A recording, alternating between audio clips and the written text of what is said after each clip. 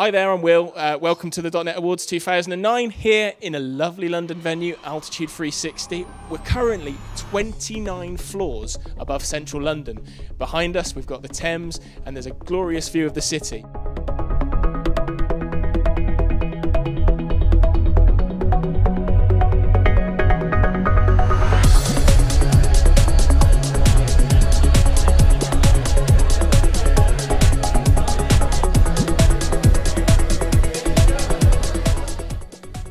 Now I'm joined by Dan Oliver. He is the uh, editor of .NET Magazine and also the organizer of this shindig. Dan, first year of an awards ceremony for you, isn't it? Yeah, yeah. It's uh, the awards have been going in their current form for around three years, but this is the first year where we've actually had a physical event. So it's great. Everyone's very excited. Lots of buzz online, and the event hasn't even started yet. So uh, yeah, we're really excited about it. Whilst I'm, look- I'm talking to you now, I'm looking at this fantastic view out behind you across central London. It's brilliant.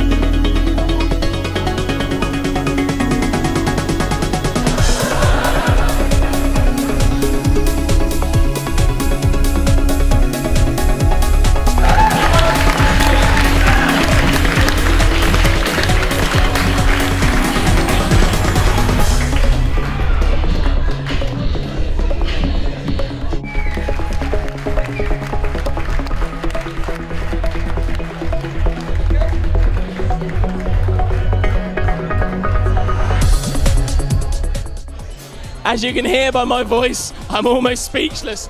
But that brings to the end the inaugural .NET Awards event, and what a fantastic evening it's been. And I'm going because my voice is shagged.